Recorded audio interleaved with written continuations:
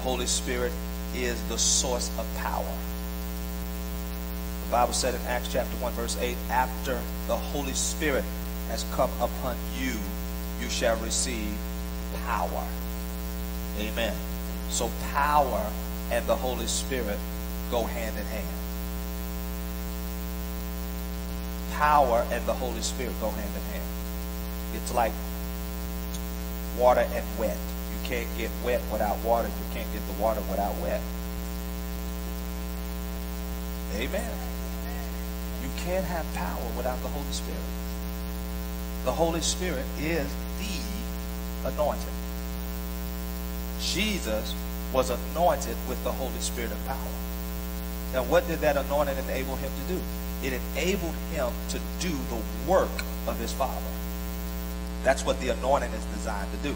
The anointing equips you to do what God has called you to do. Jesus said in Luke chapter 4, the Spirit of the Lord is upon me because he hath anointed me to preach the gospel, to heal the sick, to raise the dead. Notice that it took the anointing on Jesus before he could start doing what it was he was called to do you need the anointing.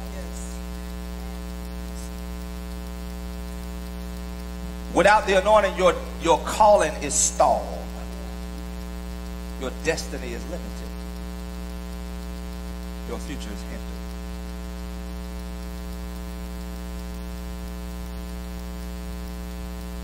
We also discovered last week that God is the one who sovereignly or divinely selects who is anointed. In other words, the anointing comes from God. God ultimately reserves the prerogative to choose who gets close to him. No matter how many principles you follow, no matter how hard you try, you can't anoint yourself. See, let me, let me, let me, let me say this. The anointing is something you can't conjure up. You either have it or you don't. You can't fake the anointing. There's a lot of stuff you can fake. But you can't fake the anointing. Can't fake the anointing. The anointing is what makes you valuable. The anointing is what makes you valuable. Your value in the kingdom is not determined by your education. Your value in the kingdom is not determined by your ordination. Your value in the kingdom is determined by the anointing. And let me tell you something. Consecration is a requirement for the anointing.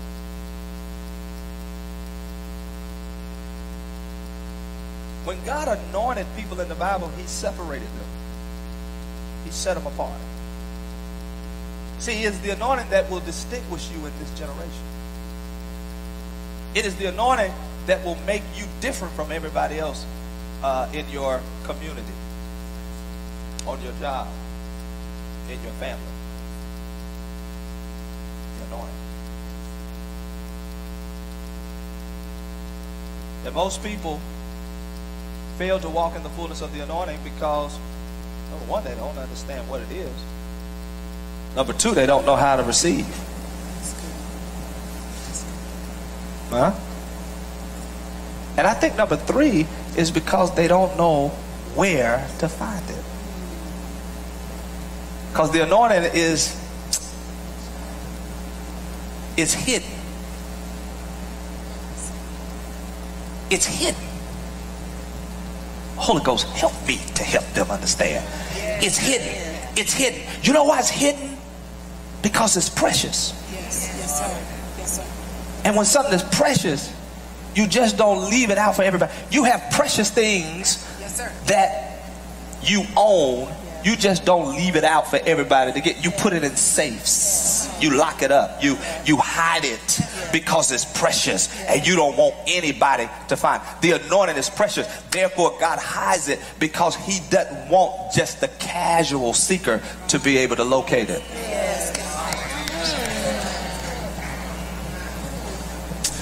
To receive the anointing, you you've got to be hungry. You you got to be desperate. You got to be willing to dig and search.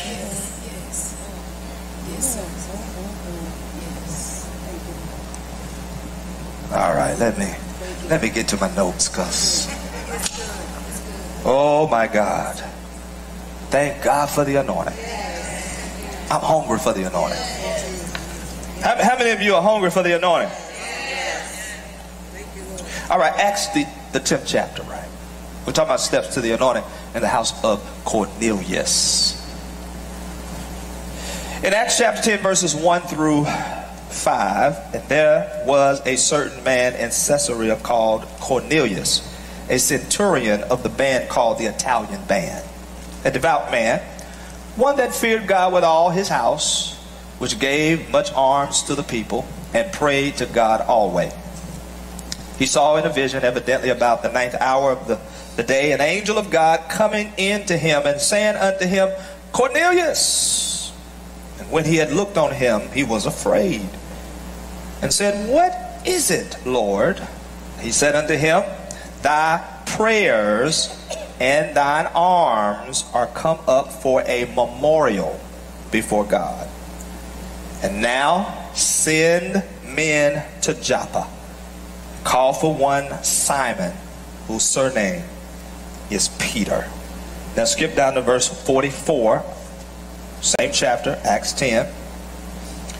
While Peter yet spake these words, the Holy Ghost, or the anointing, fell on all them which heard the word.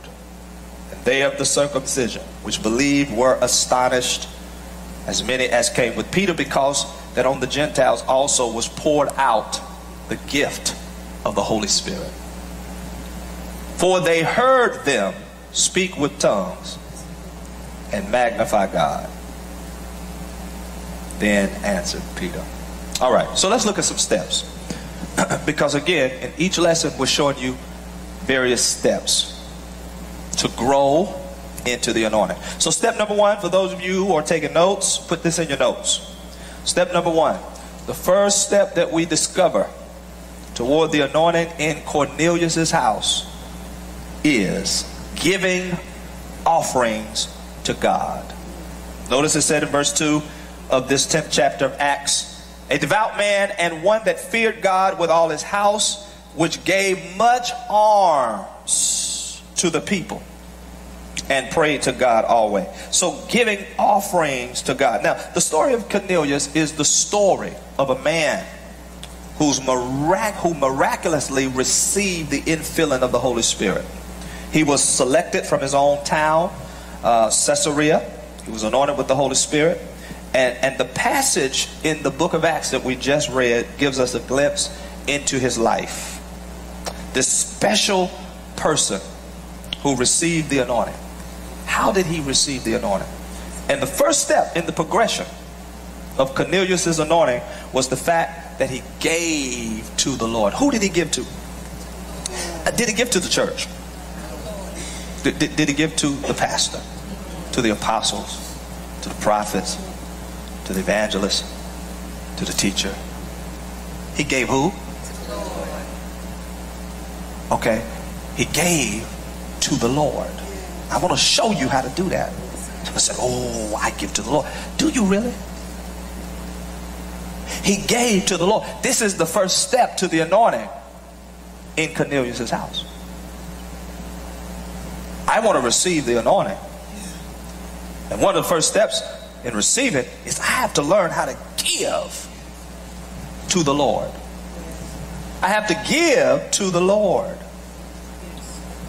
So giving offerings to God is the first step to receiving the anointing. Turn over to Proverbs chapter 19. Proverbs chapter 19. Proverbs chapter 19. Are you here? Yes, sir. Or have you gone home? No. Right. All right.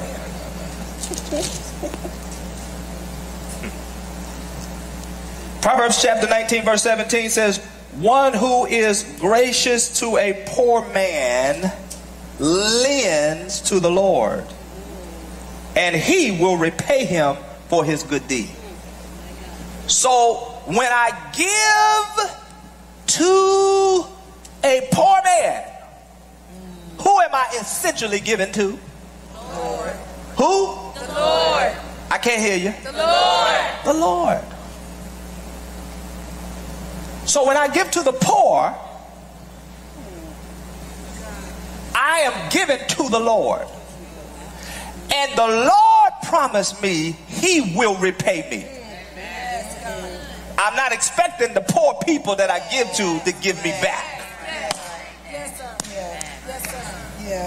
Wow. Hmm.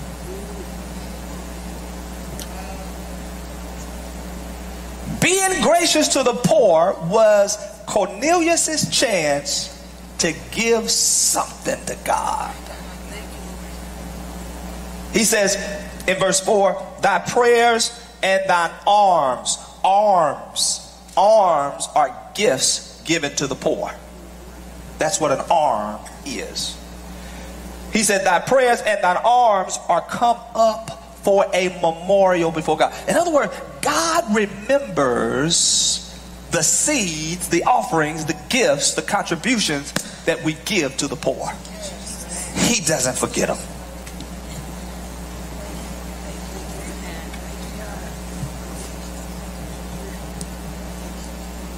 I give to the poor. I don't I don't broadcast what I do, but I give to the poor. I support poor people, people who are less privileged, unfortunate people, people who don't have a lot. Yes, sir. Yes, sir. Yes. Yes, sir. I'm always helping them, Yes, sir. always looking for ways to bless them. Because I know when I give to them, I'm giving to the Lord. Okay. Yes.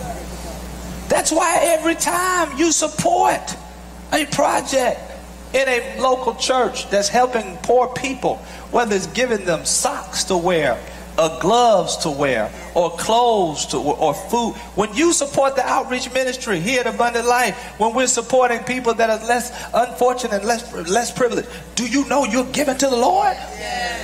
When you take when you take a tag off the tree out there and say, you know what, I'm gonna I'm gonna buy one of these children a gift because they ain't gonna have a Christmas if I don't support. You are giving to the Lord. Yes. Yes. Amen. Amen. It's quiet up in here. Yes, sir. Now, uh, that these prayers and acts of giving to the poor caught the attention of the Lord. When you give to the poor, you catch God's attention. Huh? Did you hear what I said? When you give to the poor, you catch God's attention. The angel informed Cornelius that it was his alms giving and prayer that arrested the attention of God. Friends, the anointing that you seek and the help that you desire can be acquired when you learn this great act of worship. This is worship. Number two goes right in line with number one. So the first one is I'm giving offerings to God. I'm giving offerings to God. Number two, I'm giving offerings to the poor. A devout man and one that feared God with all his house, which gave much alms to the people. Verse 2 and prayed to God always. See, giving to the poor is a special form of giving that is precious to the Lord. And one of the things that I've discovered about some of the most anointed men and women that I've encountered is that they have a strong ministry to the poor. They're very generous. Yes. Yes. They're in partnership with orphanages or with other ministries. They may not be doing it themselves, but they partner with those ministries that have, you know, uh, a big heart for poor people, for impoverished nations. Yes. And they partner with them. Now listen to this. Ministering to the poor does not remove poverty from the earth. Giving money to the poor does not usually solve the problems of poor people. This is not the issue here. God loves the poor and he anoints those who love them. Now, I'm, I'm going to share with you, go to Psalms 41 because this, this is where I got excited. When I start seeing all the benefits that God will bestow upon people who support poor people. Five supernatural benefits of ministering to the poor are found in Psalms 41, verses 1 through 3. He says, Blessed is he that considereth the poor. The Lord will deliver him in time of trouble. The Lord will preserve him and keep him alive, and he shall be blessed upon the earth. And thou will not deliver him into the will of his enemies. Good God Almighty. The Lord will strengthen him upon the bed of languishing. Thou shalt make all his bed in his sickness. In other words, God's gonna make your bed up. So that means you ain't gonna be sick in that bed for long. Because he gonna make it up. He can't make the bed up if you're still in it. Have you ever tried to make up a bed, baby? I'm gonna make this bed up. Your husband's still in the bed. He got to get out the bed. All right, here, here's the five things. I hope you caught them. But if you did, let me give them to you. All right, notice the Bible says there are five things. Number one, he's going to uh, deliver you. He's going to deliver you. Number two, he's going to keep you alive. Praise God. Number three, he's going to preserve you. Number four, he's going to bless you. And number five, he's going to strengthen you. Look at there. Number one, he's going to deliver me. Number two, he's going to keep me alive. Number three, he's going to preserve me. Number four, he's going to bless me. And number five, he's going to strengthen me. These are five supernatural benefits of ministering to the poor. Who wouldn't want these blessings on their lives? Who wouldn't want these blessings in their ministry? No wonder Cornelius received one of the most precious outpourings of the Holy Spirit recorded in the Bible. Because he was a man who gave to God and who gave to the poor. You want the anointing? Learn how to give to God. See, see, see, to the person who, who robs God of the tithe. The tithe is the Lord's. If you're not a tither, quit praying for the anointing. Yes, right. Yes, sir. Amen. Amen. Amen. If you're not a tither, quit praying for the anointing. It's not coming to you.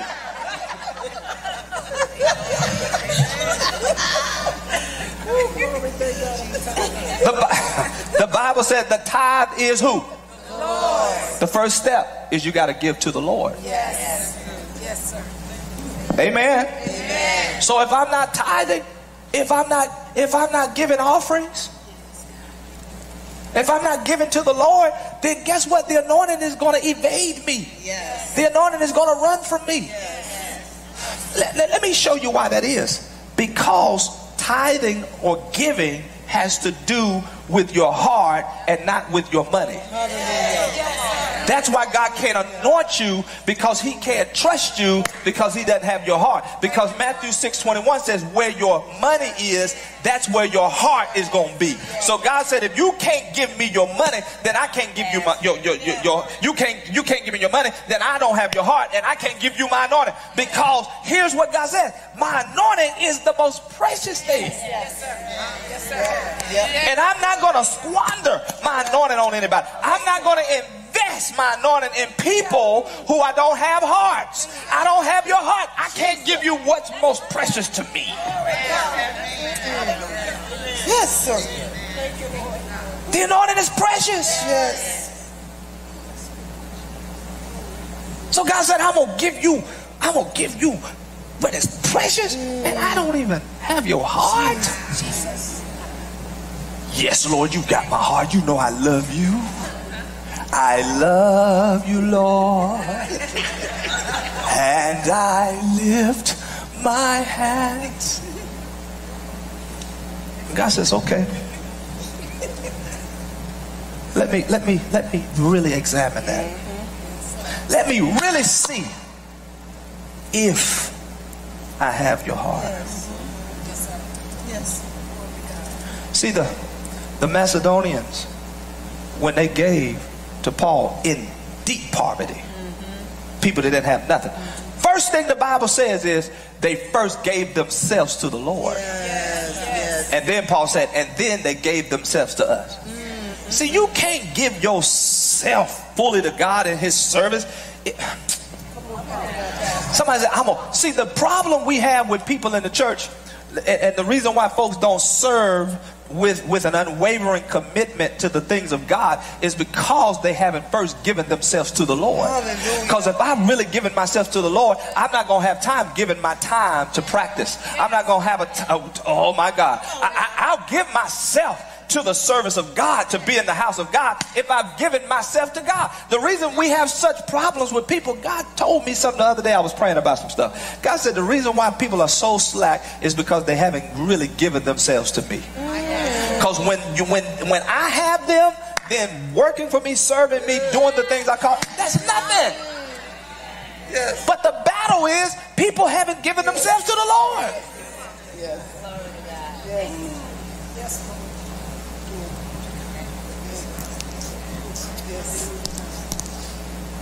Amen, lights. Because when it's about God, yes, you need to be appreciated. Yes, you need to be encouraged. Yes, you. But you know what? Even if you don't get that, right. you understand. This ain't about Yeah. that. This is I'm doing this as unto the Lord. Yep. Praise God. Yes. So, so he's first. You got to give yourself to the Lord. Yes. So the first thing is I got to give to God. If I want the anointing, then I got to learn how to give to the poor. And that's an extension of giving to the Lord. Because we read earlier, when you give to the poor, you lend to the Lord. Yes. And then let's move. Number three. Third step. So the first step is Give to God. give to God. Number two, Give unto the poor. give to the poor. All right. And we're clear on how we do that. All right. Number three, pray. This is third step. Verse 2 and verse 4. And pray to God always. And then he says, Thy prayers and thine alms, in Acts 10, are come up for a memorial before God. So the next step to Cornelius' anointing was prayer. Scripture tells us how Cornelius, how his prayers attracted God's attention. Your prayers. See, I've said this before in times past, and I think it bears repeating. Uh, prayer time is never wasted time. It is always invested time. Yes. You never waste your time praying. Prayer attracts God's attention. Prayer has always been a key to the anointing. In fact, let me suggest to you no one comes into the presence of the anointing without prayer. No one comes into the presence of God without prayer. Prayer is a key factor to the anointing. Let's look at a few. Um, excuse me. Let's look at a few scriptures to show you the life of Jesus and why he was so anointed. Because he spent so much time praying. In fact, isn't it interesting that out of all the things the disciples could have asked Jesus to teach them, I mean, they could have said, Master, teach me how to walk on water. You know, show me that trick you did out there on that water, Jesus. I want to know what you do. Do that again. Teach me how to do that. Lord, Lord, teach me how to take two fish, five loaves of bread, and multiply so that I can feed 5,000 men, not including women and children. Lord, you know what? That was such an awesome feat you did the other day at Lazarus' grave. That man was dead for four days, and you raised him from the dead. Teach me how to raise the dead. Teach me how to open up blinded eyes. Teach me how to cause crippled people to walk. They didn't ask for that. Out of all the things they wanted to learn from Jesus before he exited the earth, they said, Master, teach me. teach us how to pray. Which indicates to me that there was something about I just wish I could have watched Jesus. I could have been there to see how he interacted with the Father. There had to be something powerful. Peter, James, and John got a glimpse of it on the Mount of Transfiguration when they were taught when Jesus was up there talking to the Father, and God literally turned his inside out and his outsides in. Yes, yes, yes. Teach us how to pray. Because here's what I believe. I believe they saw him pray more than they saw him heal the sick. He spent more time praying than he did preaching, teaching, or healing. Yes. Do you you do know those were the three primary things that Jesus did? Yeah. Three primary things Jesus did was preach, teach, and heal. Yes. That's it. Yes. But they saw him pray. And they said, Master, teach us how to pray. We, we want your prayer life because they understood that the source of his teaching messages, the source of his preaching, the source of his healing was prayer. Prayer was the source of the powerful messages that he preached and taught and the mighty miracles that he was able to perform. Go over to uh, Mark chapter 1. Prayer is vital. If you don't have a prayer life, then you're not a candidate for the anointing. And I'm not just talking about praying when you come to church. You got to you got to put some time in. Amen. Mark chapter 1. You got to pray. You got to pray when you don't feel like it. You got to pray when you're tired. Hallelujah. You got to pray when you don't feel nothing. That's right. Every time I feel the Spirit moving in my heart, I will pray. See, you waiting on something to feel the Spirit. No, you know, you don't got to wait to feel nothing. Just learn how to pray. Live a life of prayer. Hallelujah. Verse 35. And in the morning, rising up a great while before day, before the sun came up, he went out and departed into a solitary place and there prayed. So Jesus got up early in the morning before the sun came up and went into prayer. Boy, that's commitment. That's dedication. Come on, somebody. We can't turn that bed loose.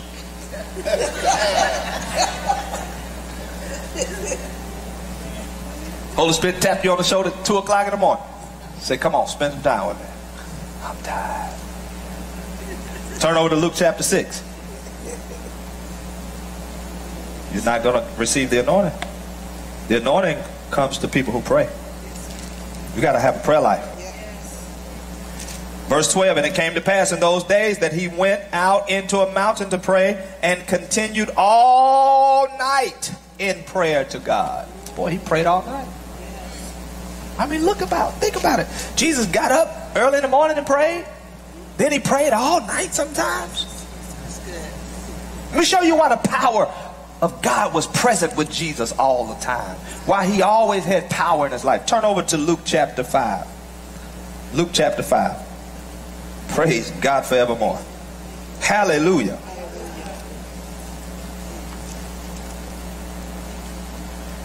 Verse 16, I'm in Luke, the fifth chapter, 16th verse. And he withdrew himself into the wilderness and prayed. What did he do? He prayed. He withdrew himself. He, he see, sometimes you got to withdraw yourself from the crowd, from people, from family. You got to learn how to slip away and get in your prayer closet. And notice what happened in verse 17. Now keep that in mind. He withdrew himself into the wilderness and prayed, and it came to pass on a certain day as he was teaching that there were Pharisees and doctors of the law sitting by, which will come out of every town of Galilee and Judea and Jerusalem, and the power of the Lord was present to heal them. Why was the power of the Lord present to heal him? Because he withdrew himself to pray. Notice the power of the Lord that was present to heal them was produced through the prayer life of Jesus. Amen. Prayer is vital to the anointing. In fact, one of the only prayer topics Jesus taught us to pray was to pray for the Holy Spirit. I said one of the only prayer topics Jesus taught us to pray was to pray for the Holy Spirit. In Luke chapter 11, verse 13, he said, If you then, being evil, know how to give good gifts unto your children, how much more shall your heavenly Father give the Holy Spirit to them that ask him? If you desire to be anointed, pray specifically for the coming of the anointing. Ask God to give you the Holy Spirit. Well, I already have. I pray in tongues. No. There are many feelings, refilling. Ask God to bless your ministry and your life with His presence and power. I mean, you have to ask. There has to be something you do on a continuous basis. Keep praying the same thing for years. I pray every day, Lord, give me the Holy Ghost. Fill me up with your power. Lord, I need your presence. I can't make it without your presence today. Lord, I need your anointing. Anoint me with fresh oil today. Thank you for yesterday's anointing, but I need a fresh one today. Every day. I pray for the Holy Ghost. Every day. You got to pray. If you desire the anointing, ask God to give you the Holy Spirit. Keep praying the same prayer. And I'm telling you, your prayers and your alms will come up before God and will arrest his attention. See, I believe that God will see how bad do you really want it? Yes. Well, I asked last week and I ain't seen no change. I've been praying the same prayer for two months and ain't nothing happened. God's waiting to see how much do you want the anointing.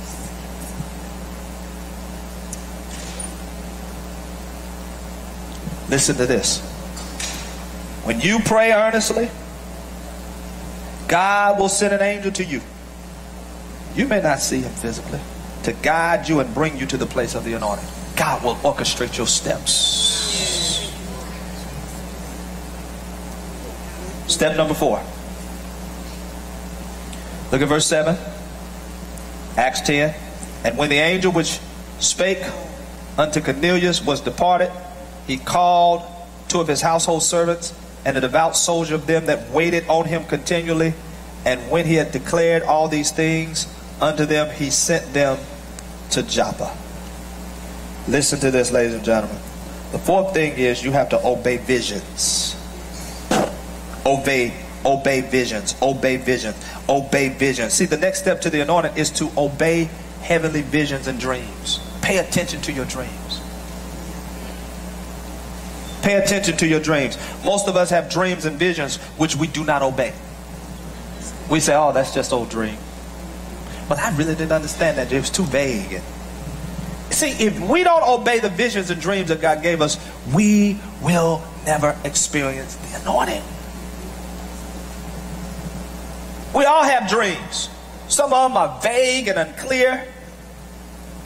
But we need to learn how to obey. Because here's the reality the drive to obey these visions is the drive towards the anointing. What is God saying to you in a dream? What is God saying to you in a dream? Each dream and vision will take you one step closer to the journey toward the anointing. Cornelius obeyed the vision and encountered the apostle Peter. Peter also obeyed a vision and met with Cornelius. That's why he was able to preach to Cornelius because God gave him a vision. While Peter was preaching, Cornelius and his entire household received the anointing. See, listen, as you can see, one thing that leads to another. One thing leads to another. You hear God, you have a dream, God speaks to your heart, you obey that, and then when you obey that, you get connected with a person, that person connects you with another person, and all of a sudden, listen, you're, you're, you're moving down the destiny track toward the anointing. Amen. Amen.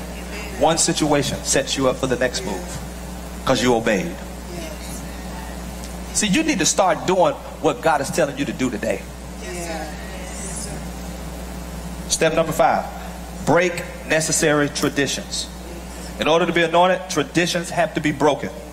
Peter was not given, he was not used or accustomed to mixing or fellowshipping with the Gentiles. However, in order for the anointing of the Holy Spirit to be released, the lifestyle of Peter had to change. In verses 13 through 15 of Acts 10, and there came a voice to him, Arise, Peter, kill and eat. And Peter said, Not so, Lord.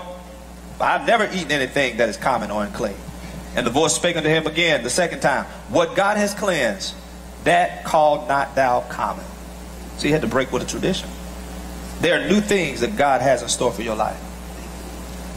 And see, people who cannot be guided into new things often don't receive the anointing. See, you're so used to doing the thing that you've always done, doing it the same way. God says you got to do something different. See, anointed people often they often travel in into uncharted waters. Do you want God to use you? Do you want God to anoint you? Do you want God to empower you? That if so, you may have to do something that you've never done before. You may have to go places you've never been before. You may have to, amen, meet people that you've never met before and, and, and fellowship with people that you've never met before. And you got to be willing to get out of your comfort zone. Quit hanging with the same little three people that you always hang with for 15 years. And God's trying to introduce you to some new relationships, but you too scared to launch out in the deep. That's why you'll never get anointed. Cornelius would have never got anointed if he wouldn't have met Peter.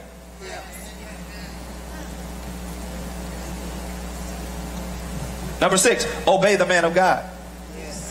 Verse 32 Send therefore to Joppa and call hither Simon, whose surname is Peter, and he's staying in the house of one Simon a tanner by the seaside, who when he cometh, when he cometh, not when God cometh, when the man of God cometh, shall speak unto thee. In Acts 10 48 said, and he commanded them. See, the next step to Cornelius receiving the anointing was to be obedient to the instructions of the man of God. Just like dreams and visions the commands of a man of God will gently push you further down the road to the anointing. See, what happens when the anointing comes on you? When the anointing comes on you, you become a man or a woman of authority. In other words, people will obey your commands. So if you don't learn how to obey the commands of other people, then you are sowing the seed of rebellion into your own future. Lord have mercy. If you don't obey the instructions of the man of God, you are simply sowing seeds of rebellion to your own future. How God gonna make you a person of authority when you haven't learned how to be up under authority? Yep. Yep. Yep. Yep. Look at your neighbor say, good teaching. Good teaching. Say, wake up and listen. Wake up and listen.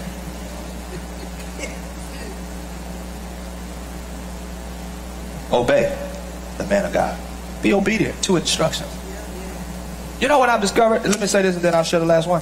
People who are disobedient to instructions are dangerous.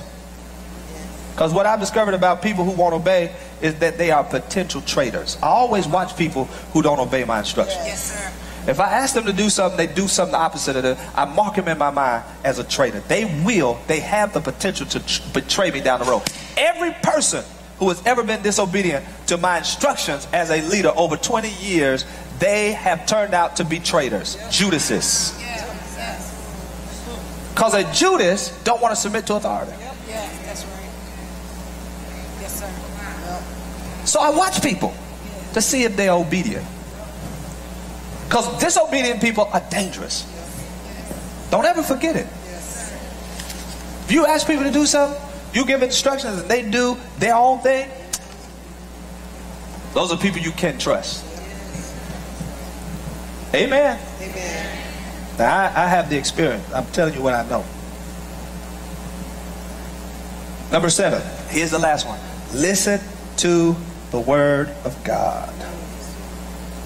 While Peter yet spake these words, Acts 10 44, the Holy Ghost fell on all them which heard the word.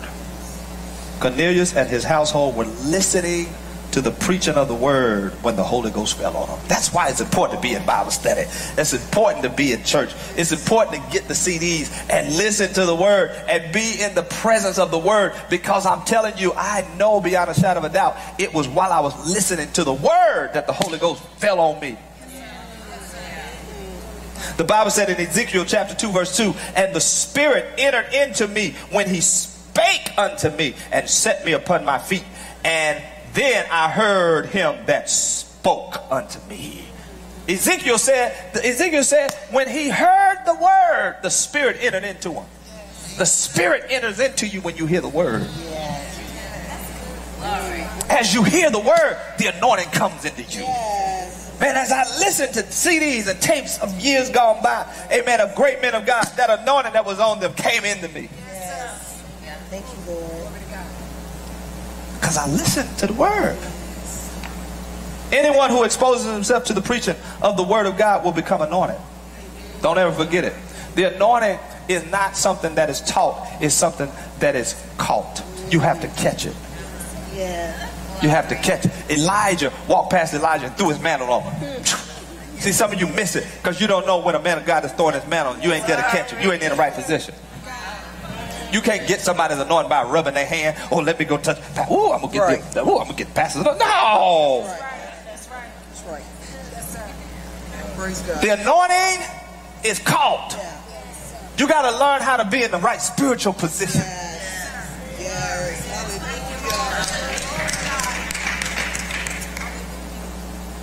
The word of God is God. God is his word. That's what John 1 and 1 says. In the beginning was the word, the word was with God, and the word was God. People in Cornelius' house were not prayed for. No one laid hands on them. No one touched them. No one blew on them and fell over. No one anointed them with oil. No one received an anointed prayer cloth.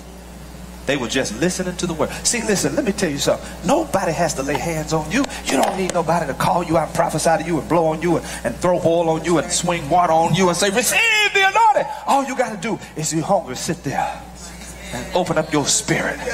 Say, God, I want the anointing. And while the word is going forth, the spirit will enter into you.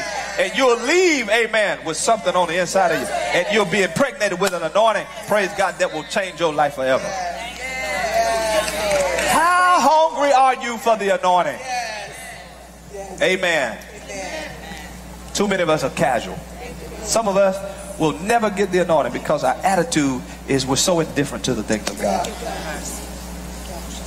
Don't ever become so familiar.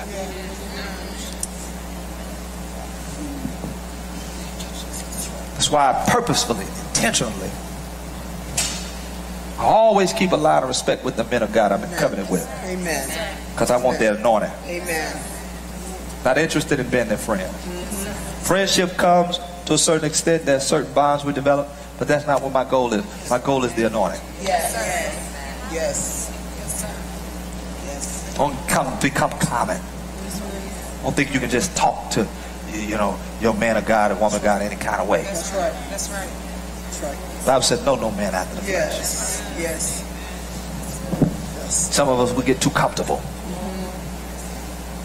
Amen. Amen. Then we wonder why the anointing skipping over us. Yes. And you like, man, I don't know why so and so they got they got the anointing of the leader, but I ain't got. I know I've been around the pastor for ten years because you're too familiar. That's right. That's right. That's right. That's right. You more concerned with trying to go eat at his house versus get the anointing. Come on, somebody.